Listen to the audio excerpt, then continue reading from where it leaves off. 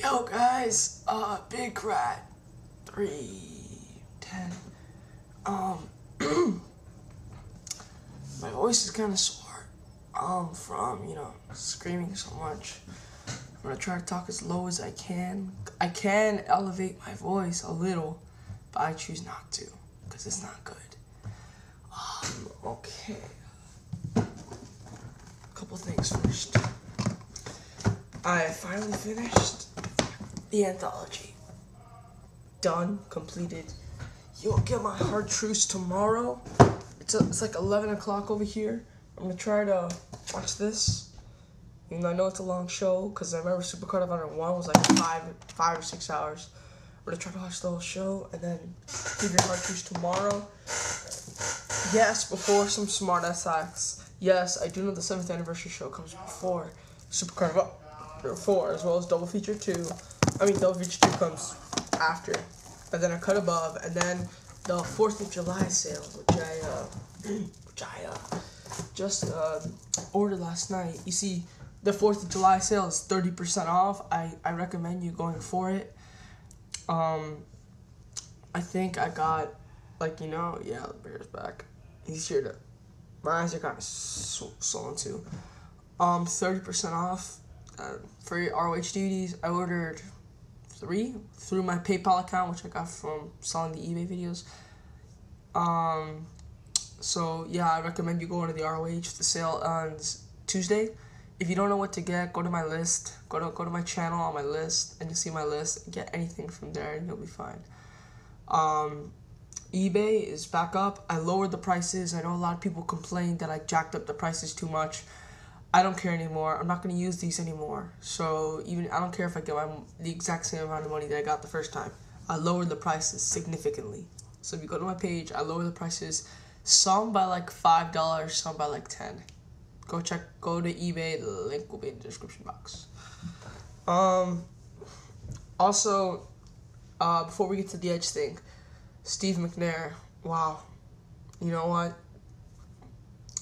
David Carradine Ed McMahon, Michael Jackson, Farrah Fawcett, Billy Mays, Steve McNair, Karl Malden. For those of you who don't know, Karl Malden, the famous actor, died also. He was 97. And if you want to throw in Exodus Tyson, Mike Tyson's four year old daughter, then yeah, you can throw her in too. That's eight. Oh my god, this is a bad week. I was a little upset when I heard about it.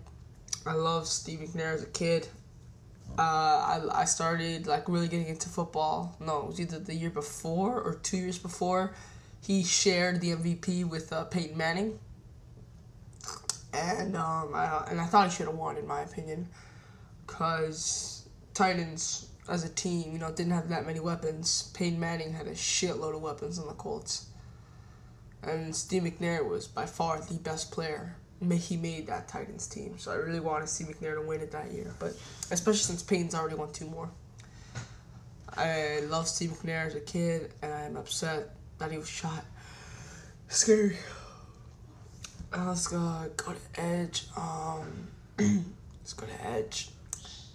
Honestly, I don't think is as big as a deal as everyone says. Everyone's been saying, oh my god, Edge is gone, Edge is gone. The future of wrestling is over. We don't have Edge anymore. Oh my fucking god, SmackDown's gonna suck now. No.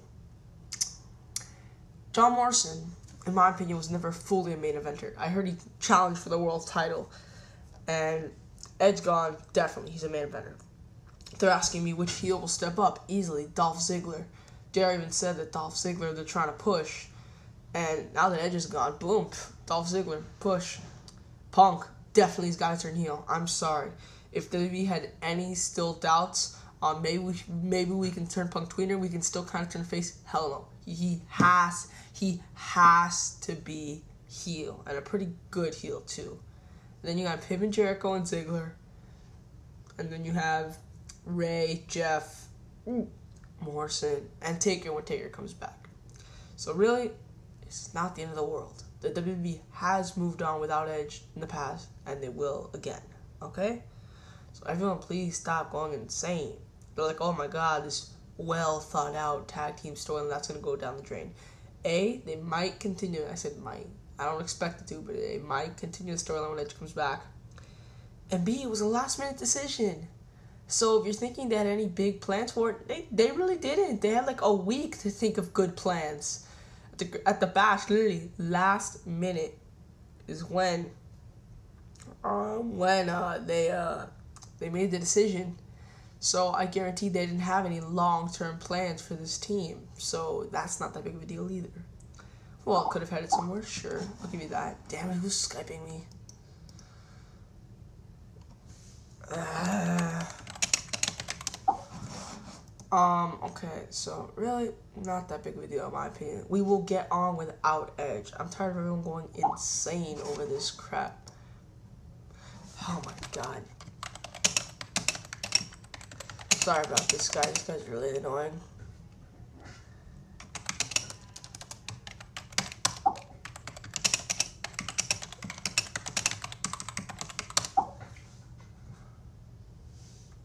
Okay. Stop. Okay. Um. So really, I.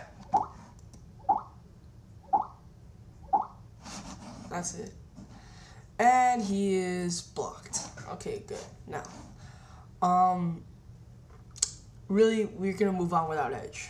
Okay, we can do it. So the show must go on. Is it a long injury? Yes. I heard two stories. I heard it was an Achilles tendon, and the other one I heard was an ACL.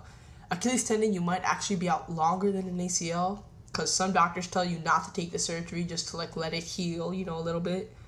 And uh, some guys do that, but like it never really fully heals. And then some guys take the surgery and it heals, but they'll be out for like an extra, an extra six or seven months. So, and also surgery I heard is kind of expensive. So it depends on what route James Andrews goes on that with Edge. Um, so I think that's my video for today. I'm gonna watch Supercard of Honor 4. And Big Rat 310 is here and he's out. Peace. Goodbye. See y'all later. 10. Also, happy 4th of July. And for those of you who didn't get to see fireworks, sucks to be you is all I can say. Because I had a really great time tonight. Out. Peace.